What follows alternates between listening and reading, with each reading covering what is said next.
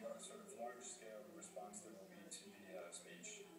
How about the people surrounding President Assad? Is there any sort of break in that, or is the military strong and loyal to him and the Saudi security forces? That's a great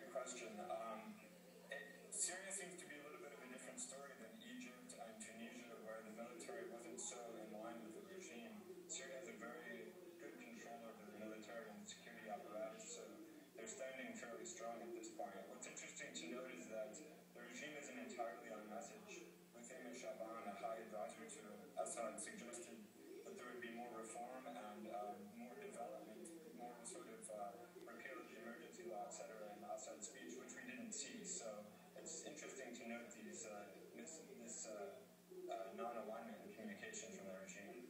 So am I? So am I correct in saying that everybody expected to come out and say this would be the real lot of reform? We get rid of some of the emergency rule. That's what the protesters expected. Instead, he came out